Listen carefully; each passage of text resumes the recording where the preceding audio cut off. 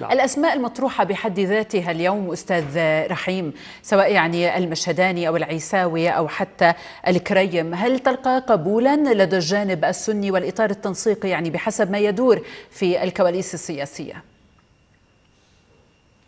بالتأكيد هذه الأسماء محترمة آه، هذه الأسماء آه، هي من الأوزان الثقيلة آه، أعتقد أنها هي القريبة للتسمية يعني شخصيا. أرى أن هنالك شخصية المشهداني لربما يعني تحظى بقبول كبير في ظل المكون السني في ظل الإطار في ظل بقية المكونات. أعتقد أن العملية لربما هي مساحات لا أستطيع أن أجزم ولكن أقول هذا رأيي الشخصي. آه، مسألة القبول هي مسألة آه، تعتمد على آه، المحرك المحركات الأخرى. كما قلت المساحة للعلاقات وأيضا مساحة المصالح. اليوم كلما كان هناك حراك لأي شخصية في ظل أن يكون مقنعا للآخرين في ظل أن يضع اللمسات الحقيقية للقرار أي أنه يكون قادر على أن يؤلف ما بين القلوب ويعمل باتجاه المصلحة العليا ويعمل بقضية الإيثار وليس الاستثار أعتقد أنه قادر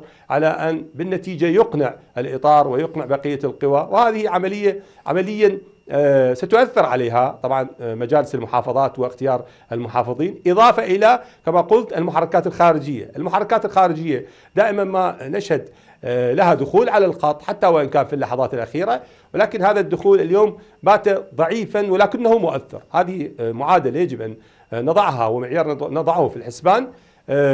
العملية بمجملها خاضعة لي كما قلت القرار الإطار أين سيذهب أين سيتجه ولكنه يضع هذه القضية في كفة ميزان أمام تفاعل القوى السنية مع المشهد بالمجمل طيب. عملية الاستقرار والعنوان للشخصية التي سيختارها